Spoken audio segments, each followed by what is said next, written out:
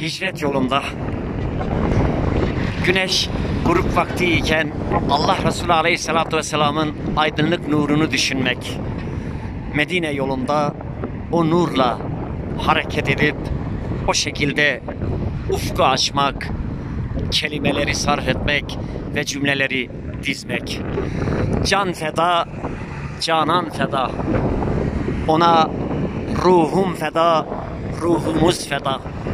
O insanlığın şeref tablosu, o müminlerin imamı, o insanlığın hatibi, o Allahu Teala'nın alemlere rahmet olarak gönderdiği Efendimiz sallallahu aleyhi ve sellem hicret yolunda Mekke'den Medine'ye hicret yolunda pusvasıyla bu yollarda yürürken şahitlik yapan toprak ey turab söyle efendimi. Ey dağ söyle efendimi ve sıddık arkadaşını. Ey ağaçlar çiçekler yapraklar böcekler söyleyin efendimi. Efendim bu yollardan geçti. Ey şems grup vaktidir batmak üzeresin. Sen bu dünyayı aydınlattın ama o bizim şemsimiz hem dünyayı hem ahiretimizi aydınlattı. Öyleyse sen de şahitlik ettin ona. Bize ondan anlat. O sana bakarken, sen onun üzerine doğarken sen mi daha çok aydınlıktın, o mu daha çok aydınlıktı? Sen mi daha çok ışık verdin, o mu daha çok ışık verdi?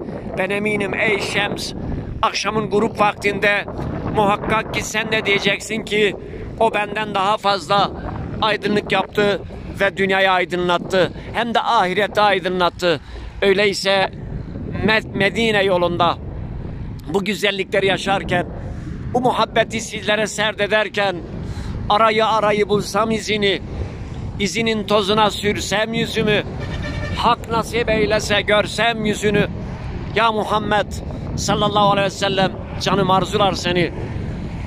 Ben yürürüm ya ne yani. Aşk neyledi beni kane. Ne akilem ne divane. Gel gör beni aşk neyledi.